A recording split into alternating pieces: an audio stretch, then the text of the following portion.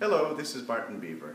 Thank goodness organizations like Chamber Music International exist to bring high-quality chamber performances to audiences. Please give as generously as you can and support their mission. Thank you.